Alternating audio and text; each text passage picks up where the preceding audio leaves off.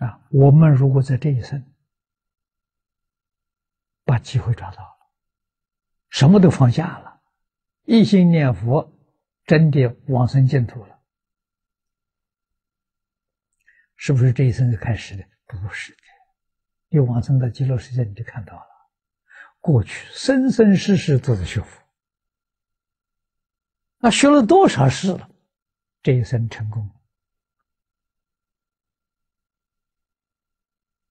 啊，脱离六道轮回，那你就感到非常幸运，你会很感恩阿弥陀佛。为什么呢？如果不是这个法门，你要搞其他的八万四门的任何一个法门，你这一生决定不能成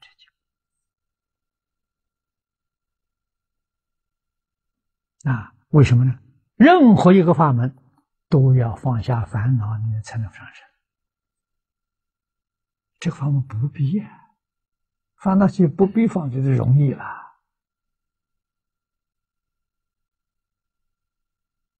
啊，死心塌地跟阿弥陀佛跟定了，一步也不肯舍。啊，这就到极乐世界去了。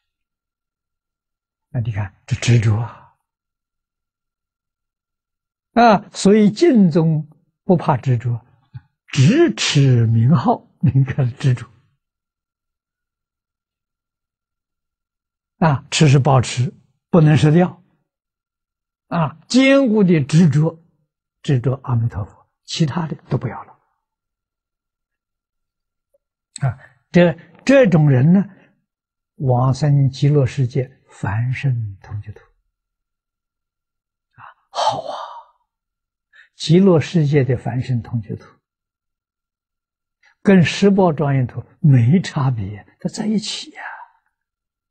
啊，当中啊没有空间维持的障碍，啊，我们这个世界有，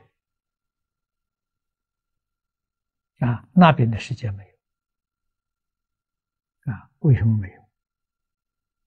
空间维持的障碍是从。分别执着来，你分别执着没有了，这个障碍就没有。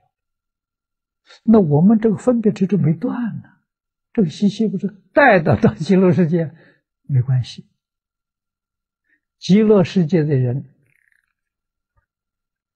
通通没有分别执着，你到那个地方去，很快。几天就习惯了，你那个分别执着习气也会放下。为什么？这个分别执着是因为你想得的东西，你的欲望啊，你得不到啊，你才执着啊。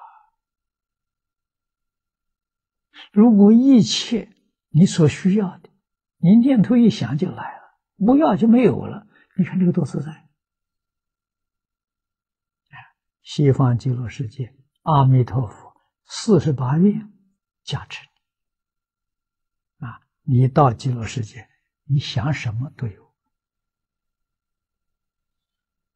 你通通能得到啊！古德常讲啊，思一得一，思十得十啊，不需要人工的。啊，衣服不要去买衣料，也不要裁缝啊，这一想就穿在身上了。啊，想吃的时候，百味饮食，在经上常讲百味饮食，它有典故的。啊，吃饭的时候是一百道菜，这从前皇帝的。啊，皇上的饮食是一百道菜，不管他吃不吃。他每一餐是一百道菜的，百味饮食啊！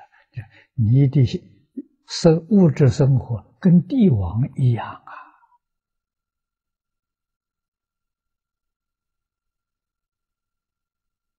啊，也不需要人工啊！